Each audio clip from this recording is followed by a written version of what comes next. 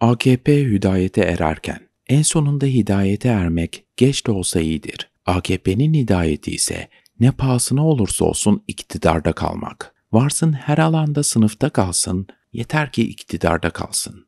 Muhalefetin kurduğu ittifak altı birbirine benzemez dediler. Kendileri hiç birbirine benzemezlerle miktarı ne olursa olsun o uğruna bir araya geliyorlar. Üstelik başlangıcı medya önünde, devamı kapalı kapılar ardında yapılan pazarlıklarla. Son anda bir değişiklik olmazsa 14 Mayıs'ta milletin önüne konulacak sandıktan bir gün önceye dek hiç benzemezler arasında pazarlık devam edecek. Gündemde Hüdapar'la AKP arasında yapılan ittifak görüşmeleri var. Hüdapar'ın kuruluş ilkeleri, dayandığı temeller, nasıl bir yönetim istediği ortada.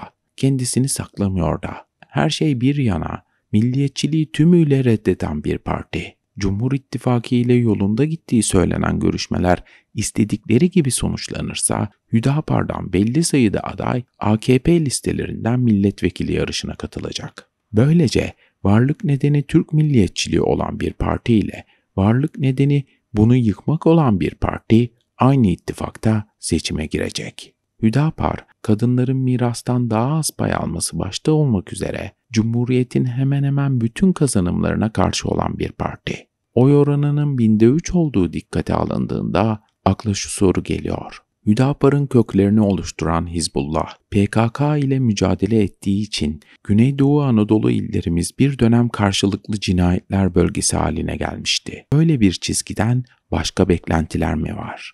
HDP'ye yönelik kapatma davasında ilginç gelişmeler yaşanıyor.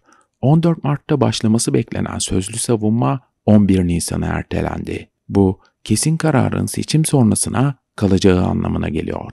HDP'ye hazine yardımı kararının 7'ye karşı 8 oyla alındığı dikkate alınırsa Anayasa Mahkemesi dengelerinin bıçak sırtında olduğu görülüyor. Kaldı ki kapatma kararı 3'te 2 ile alınabiliyor. Yani en az 10 üyenin evet demesi gerekiyor. İşte bu noktada bir soru daha.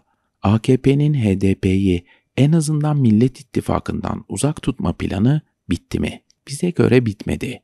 Seçime birkaç hafta kala muhatabın HDP yönetimi değil de HDP tabanı olduğu bir yeni açılım gündeme gelirse şaşırmamak gerekir.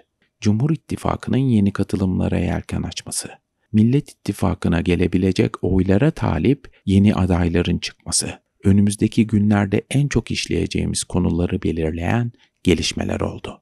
Erdoğan'ın seçimi sandıkta keklik olarak görmediği attığı adımlardan belli. Masasına konulan anketlerde AKP'nin aldığı oyla kendisinin aldığı oy arasında makasın azaldığı dikkat çekiyor. Eskiden 10 puana yaklaşan fark 4-5 puana kadar inmiş. Bunun anlamı şu, partisi dışında MHP ve öteki kesimlerden gelen oylar azalıyor. Bütün bunlar AKP'yi Hüdapar'a kadar getirdi. Önümüzdeki günlerde muhtemelen çok kullanacağımız bir saptama ile noktayı koyalım. Tabandaki hesap tavana uymaz. Videomu faydalı bulduysanız beğene tıklayabilirsiniz. Yorumlarınızı da mutlaka bekliyorum.